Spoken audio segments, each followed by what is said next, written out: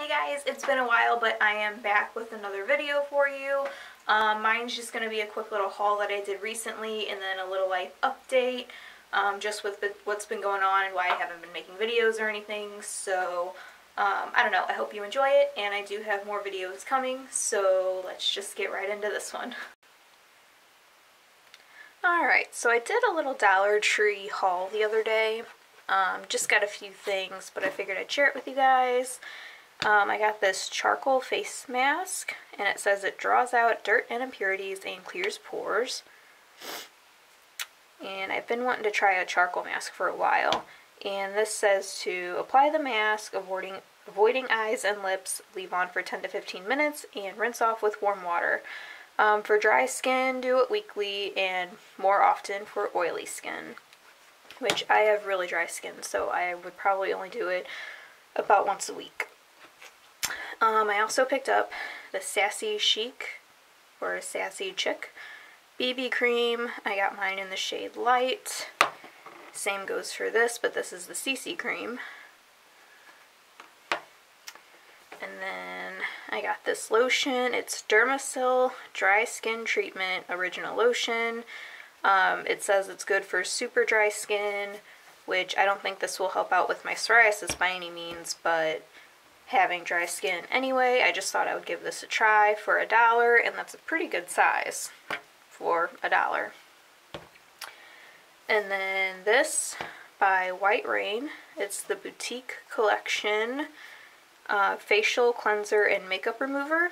It says it's a foaming face wash to gently remove makeup for soft, clean skin. And I also thought it smelled really good, so I wanted to give that a try. And then I believe these eyelash curlers are the Sassy Chick. Um, I, don't, I don't think those are LA colors, but either way, I wanted some with these rubberized grips on them, so we'll see how they hold up. And then I also got this little liquid foundation by LA Colors. I got mine in True Beige, which normally I go for ivory, but this seems to match me pretty well, so we'll see how that goes. And then I got this LA Colors lipstick and lip gloss duo in the shade Twinkle. I don't know why it's not focusing on it, but um, I'll show you a swatch at the end. It's super, super pretty. I did not expect the color payoff from the lipstick that you actually get.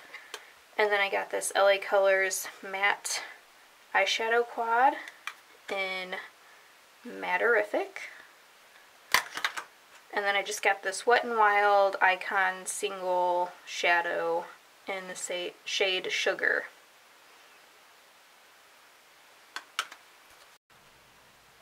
Here is the LA Colors lipstick in Twinkle, and it's really hard to see the lip gloss because it's very sheer. But for some reason the color payoff's really not showing up on camera, but it's really pretty pink. It almost looks more of a corally color on camera. And then here's the Matterific Quad by LA Colors. And then there's the Shimmery White Wet n Wild Shadow in Sugar. And I also just want to give a shout out to this clobetasol. My aunt had a few extra bottles of these laying around that she hadn't been using for years because um, I guess she had a little bit of psoriasis on her scalp and it went away. So she asked if I wanted it, and this stuff is a lifesaver. Since right now I can't get my hands on Clobex because I'm in between insurances and all of that stupid crap. Um, I have like four bottles of this, and it's a miracle. I mean, from the last time I made a video, you can see how clear my forehead is just by using this stuff. It is amazing. Um, sometimes I use it twice a day, sometimes I only use it once a day, but it's amazing. It's amazing. I hold it right up there with Clobex. It's just as good.